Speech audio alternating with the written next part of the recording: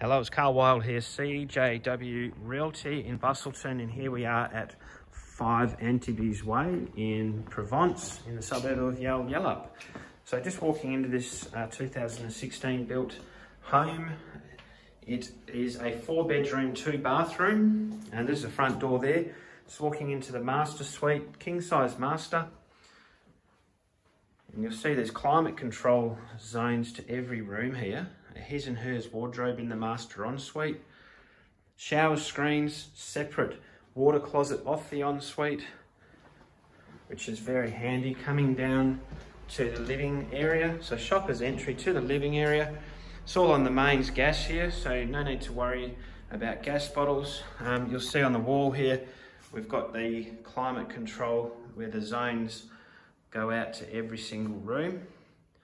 Now walking out the back, before we look at the kitchen, very nice low maintenance lock and leave garden with a patio on the north east side of the house. Great for Busselton's weather conditions and the winter sun. A really low maintenance lock and leave garden. Um, going into the kitchen there, see pantry here.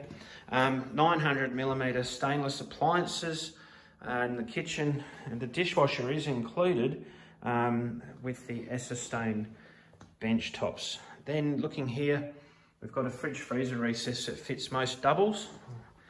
Very handy. A lot of thought's gone into this home.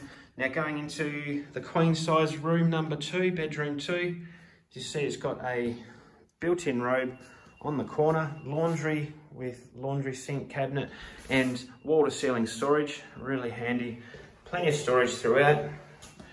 And water closet another bathroom number two and that's got the shower screen a full-length bath ceramic basin and then we go into bedrooms three and four.